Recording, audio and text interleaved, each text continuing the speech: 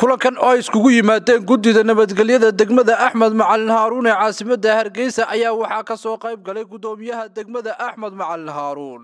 Maxamed cabdilaahi geeljire intii kulankaasi socday waxaa lagaga hadlay sidii loo adkayn lahaa amniga iyo nabadgelyada degmada axmed macalin haaruun iyo weliba caasimadda waxaana sheegeen in mar kaste ay diyaar u yihiin ilaalinta nabadgelyada iyagoo si qoto dheer uga hadlay dhibaatada ay leedahay nabadgelyo darradu odayaal haween iyo qaybaha kala duwan ee degmada axmed macalin haaruun oo halkaasi ka hadlay ayaa yidhi waxa weeye ninka nabadgelyola-aan wada carruur iyo waxaan waxba garanayn mooyaa nin caqli loo nabadgelyola-aan talinayaa ma jiro jirina maayo yeelina mayno wixii nabadgelyola-aan wada.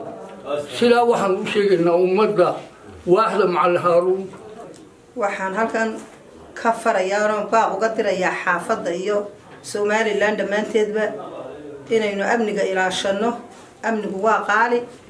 Innagaa ku noola isagu inaguma noola.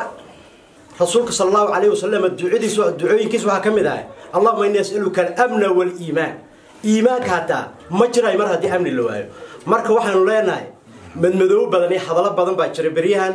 Waxaanu leenahay reer somalilan khaas ahaan xaafadeennii ama degmadeennii macalin haaruun amnigaan ilaashana baan leenahay. Amni haddii la waayo nolol ma jirayso. Anigu siiba dadkan barakacyaasha nahay waan ka sii liidanaayo amnigan weeshanaayo cidna kaga yeli mayno in amniga naga macane nalaga qalandaaro.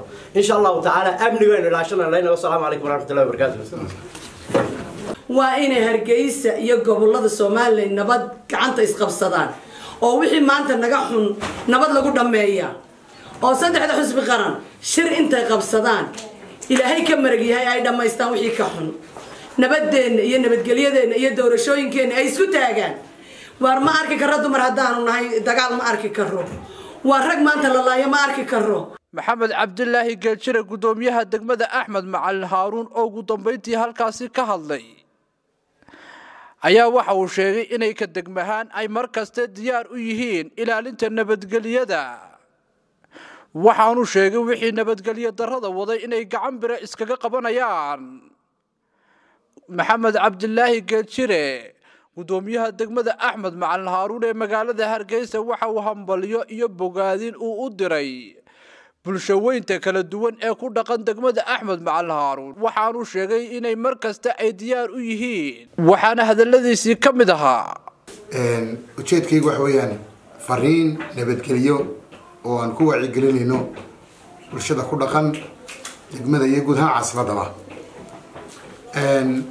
sayn la wada soconno maalmihii ugu dambeeyey qolooyinka siyaasaddu waxay ku baaqayeen runtii isu soo baxyo maaragtay runtii la isugu soo baxo maaragtay xarunta xarumaha. Markaynu nabadgelyada ka hadlayno runtii nabadgelyadu qof kasta oo shiciba horta waa u dan runtii nabadgelyadu iyadaa aduu kuma noolid iyadaa kugu nool. Imika labadii saacadood ama saddexdii saacadood maalintii hawshaasi socotay xarunta ugu weyn ee maaragtay hawsha ka socotayna waxay runtii degmada axmed bay ku taallaa. Dhammaan ganacsiyadu intooda badan way xidhnaayeen sababtay u xidhnaayeen waxa weeyaan qof waliba uu baqay oo macnihii in la boobo in maarata si kale layskaga faaidaysto. Weligeedna horta caasimadda hargeysa maynaan maqal isu soo bax ama mudaaharaad intuu ka dhaco hargeysa ama maarata meel somaliland oo runtii najaxa. Waxa weeyaan umaynaan bislaan runtii dadkeena bulshadu maarata halkan inayn maarata isu soo baxyo adduunku waad aragteenoo maanta waddamay naga waaweyn oo carabaha iyo maaragtay afrikaba ku yaalla. Dowlado badan buu maaragtay runtii kacdoomadaasi iyo soo baxyadaasi ay maaragtay galaafteen shacabkii iyo dowladdiiba. Waxaan aada iyo aada ugu mahadnaqayaa shacabka ku dhaqan degmada axmed maal haaruun sidii geesinimada lahayd ee maaragtay maalintii dowlad uga qayb qaateen nabadgelyada. Runtii oo runtii ay maaragtay u ilaaliyeen anshaxa nabadgelyada oo runtii aanay u soo bixin ishana ku hayeen ciddii maaragtay nabadgelya dara samaynaysa. Shirkeygan maanta waxaanu qabanay inaanu bulshada ku dhaqan degmada maaragtay annaga iyo guddiduba inaanu ku wacyigelino in maaragtay nabadgelyada la ilaaliyo oo runtii isha lagu hayo inagoo mar walba maaragtay saacad kasta heegan u ahay nabadgelyada haddana hadday wax soo kordhaan in maaragtay runtii la sii feejignaado. Hooyooyinku waa ogtiinoo maaragtay way ka lex jeclo badan yihiin ragga. Oo waxaad arkaysaa dee caruurahoodii inay maalintii dhaweyd ay maaragtay runtii si fiican ay guryaha uga hayeen oo ay u diidayeen maaragtay inay baxaan oo ay ka qayb qaataan.